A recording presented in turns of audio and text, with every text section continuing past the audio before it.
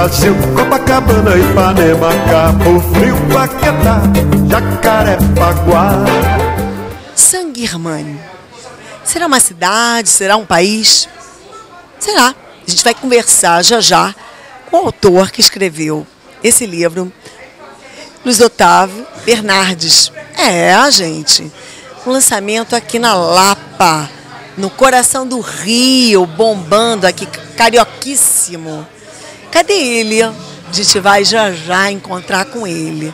Ele está ali, vamos lá. Ele deu vários passos até escrever esse livro. É um prazer ter vocês aqui na, no lançamento do meu livro. Bom, vamos começar que você tem mil facetas, né, Luiz Otávio? Vamos começar com uma delas. Qual delas? Bom, a primeira delas, você, me parece que você criou, é uma cidade, é um país, como é que é isso aqui?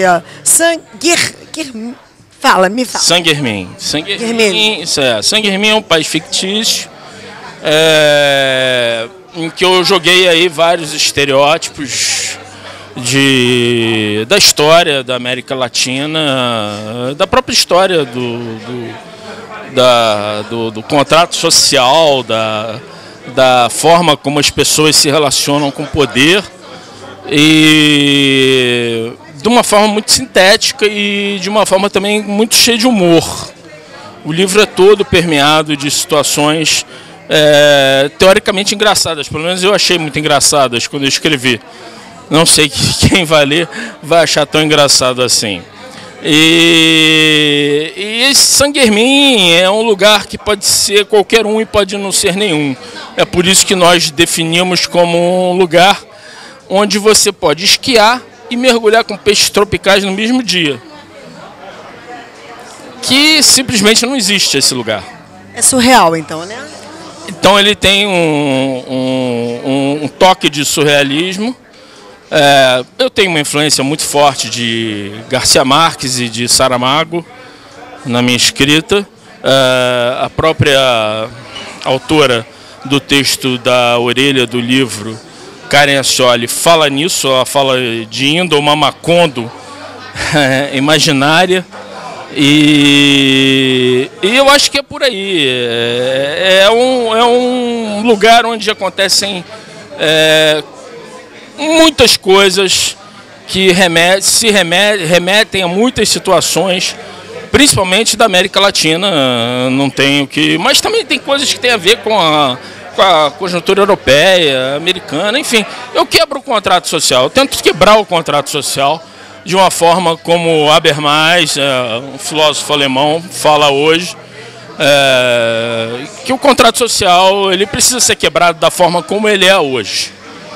Né? Eu acho que o, o livro de, fala sobre isso. Na realidade, para a gente explicar para os nossos telespectadores, é uma grande brincadeira, né? uma grande sacada sua, mas é uma grande brincadeira que é séria. É, não, o, o livro é um humor só, é, todo mundo vai rir com, a, com as, as, as bola-foras aí dos, dos militares do país e tudo mais mas é, no fundo eu tento resgatar para uma coisa bastante séria, é, bastante buscando a, a reflexão do relacionamento de sociedade e governo.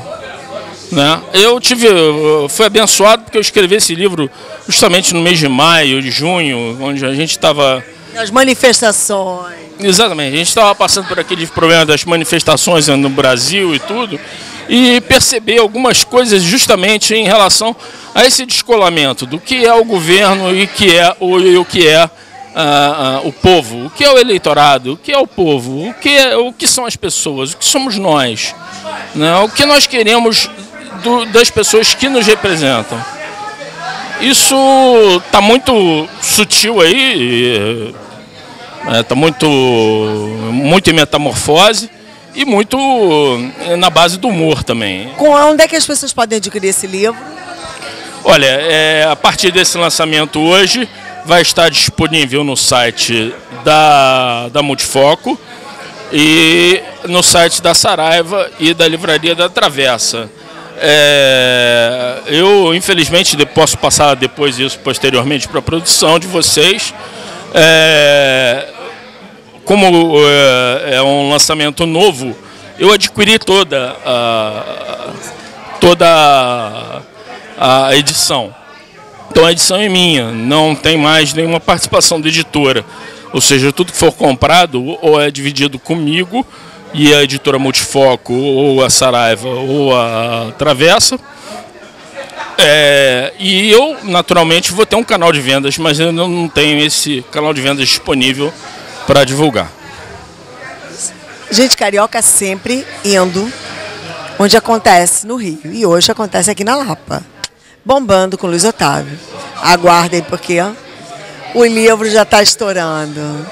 Esse é meu Rio. O livro mal foi lançado, mas já tem alguém aqui que já leu o livro todo. Sem neto, tá, Luiz, Luzia? Luzia.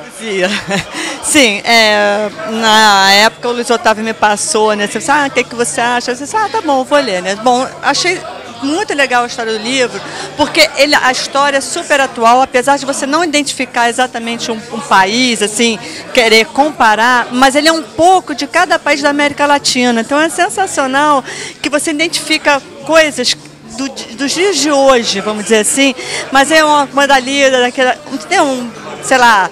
É, Cuba, Brasil, Argentina, é, Bolívia, e, mas tudo num país só. Então é, é isso que eu achei muito interessante. Você não consegue identificar um país, mas você faz um geral da América Latina, da situação de tudo que acontece, político, econômico, social.